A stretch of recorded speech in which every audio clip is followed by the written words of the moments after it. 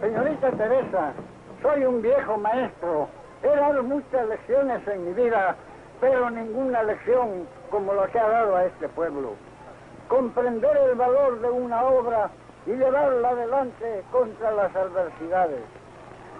Señorita, venimos, es un justo homenaje. Lo siento, señorita.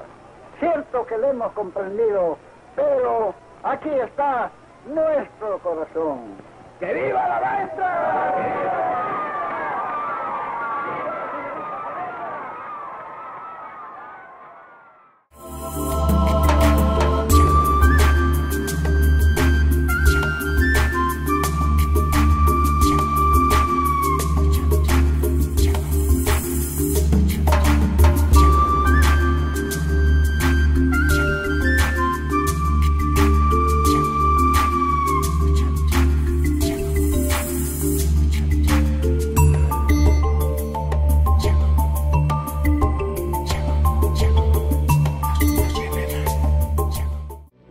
Radiofónicas funcionan en cualquier casa campesina.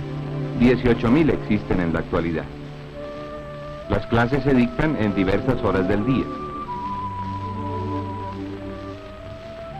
Hay dos cursos, el de principiantes y el de adelantados.